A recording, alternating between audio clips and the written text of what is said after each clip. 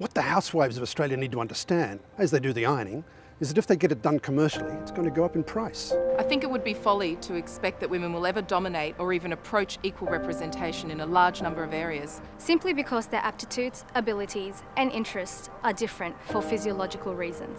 Jesus didn't say yes to everyone. Jesus knew that there was a place for everything, and it's not necessarily everyone's place to come to Australia. Same sex marriage?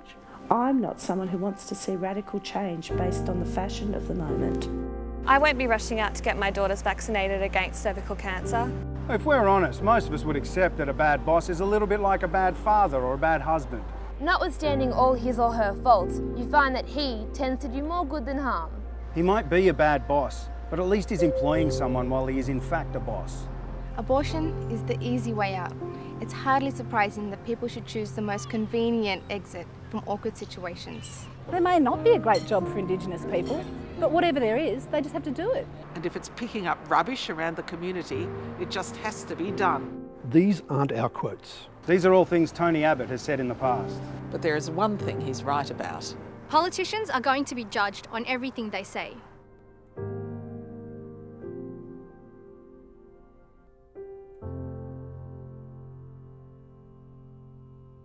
Hi, I'm Sarah Maddison, a GetUp member like you. Tony Abbott is closer than ever to being our next Prime Minister. But every few days, he says things on the campaign that reveal some very concerning social views. They're not just gaffes or mistakes in the moment of a campaign.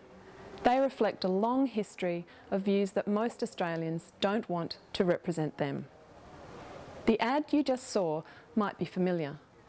In 2010, GetUp members ran this ad across the country. It is our highest fundraising ad ever. In the last three years, it has only become more relevant.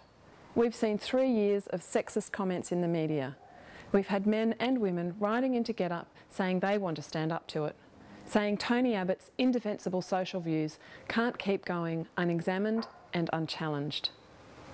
Tony Abbott could be the next Prime Minister.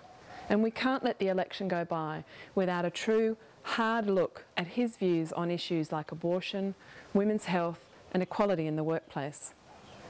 Elections are about our values as well as policies. Last election, GetUp members chipped in over $300,000 to put this out on air. This year it's even more important that voters hear this message. If we can raise that much again, we can make sure voters in marginal seats across Brisbane see this ad many times before election day. That means thousands of us chipping in what we can right now. Can you help us get this ad on air by chipping in $50 now? Authorised by Sam McLean, GetUp, Sydney.